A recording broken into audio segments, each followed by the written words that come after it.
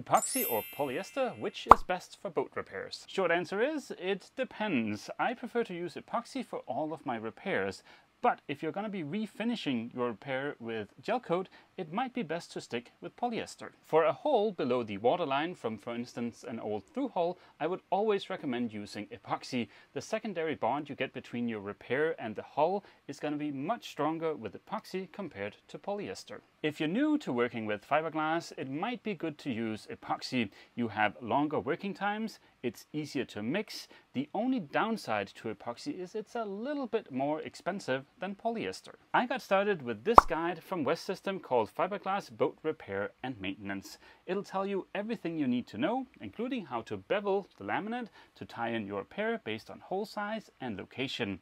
If you're ever in doubt, just refer to this guide.